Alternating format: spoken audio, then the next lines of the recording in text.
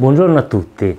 siamo così giunti alla fine della campagna elettorale e ci presentiamo a voi per chiedervi il vostro sostegno per amministrare Capri nei prossimi cinque anni.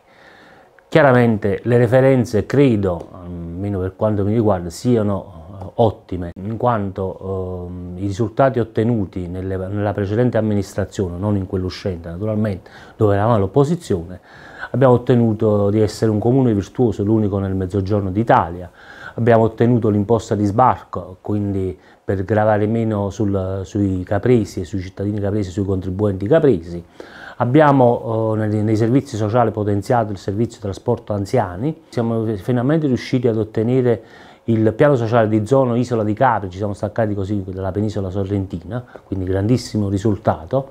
e poi eh, sono sotto gli occhi di tutti gli eventi organizzati dal, dal sottoscritti alla Certosa di San Giacomo, grandi eventi con grandi nomi, voi lo sapete. Siamo qui, noi siamo qui per risolvere i problemi e non per fare polemiche, le polemiche le lasciamo, lasciamo all'altra parte. Ci è stato detto che non hanno aumentato le tasse, noi questo non ci interessa, la cosa importante è che noi ridurremo le tasse, questo sarà il nostro impegno, perché noi siamo qua